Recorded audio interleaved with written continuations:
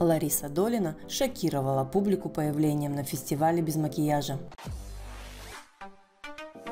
Исполнительница хита «Погода в доме» во время нахождения в Юрмале призвала полюбить себя такой, как создала ее природа-матушка. Но такое решение Долиной пришлось не всем по вкусу. Певица на мероприятии своей коллеги в Латвии Лайма «Рандеву Юрмала 2018» шокировала публику появлением на фестивале без макияжа.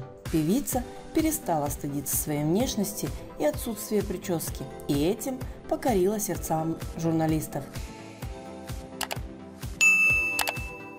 Но юзеры с грустью отметили, что Долиной лучше с макияжем. Звезда попала в объектив папарацци со своей внучкой Александрой. Российская артистка также засветила свои татуировки на руке и на ноге.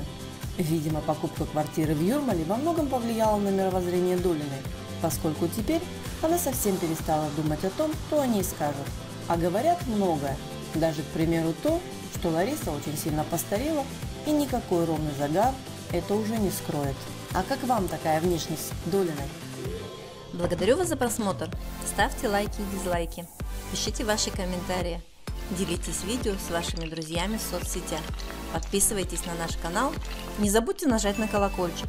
Впереди вас ждет много интересного и захватывающего. До новых встреч!